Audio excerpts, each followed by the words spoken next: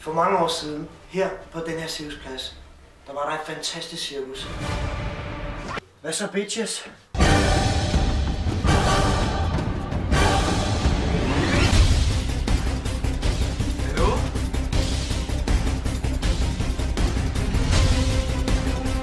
Sig mig, hvad helvede laver du nu?